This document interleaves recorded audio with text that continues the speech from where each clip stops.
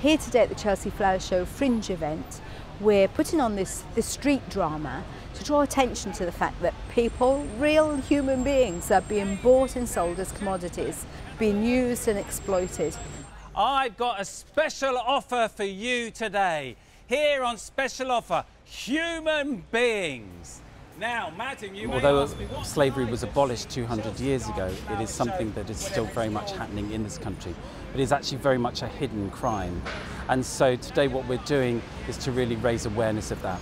This is Tomaz. Now, Tomaz is all the way from the Czech Republic, and Tomaz is 19 years old. A lot of people don't know that the Salvation Army are engaged in this work and uh, that we have the government contract to manage the support for all adult victims of trafficking in England and Wales. Around 6,000 people in the last uh, five years have been supported by the Salvation Army. There's many different reactions. Um, there's some people that just walk on by and just are on their phones or they're just not paying attention. But other people are very open and, and quite shocked that, that this is happening. People are becoming more aware, but there's still so many people who, who need to hear this message so that everyone can be alert and ready to respond if they see anything that they're suspicious about.